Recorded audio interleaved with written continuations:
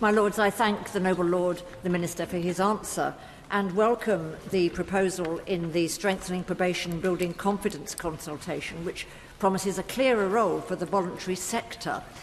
My concern, however, is that the consultation proposes ongoing mini competitions and a mixed market for services. And I ask, can the Noble Lord the Minister tell us how the government will ensure that smaller charities are helped to spend less time competing for contracts and more time serving the community. Uh, my Lord, uh,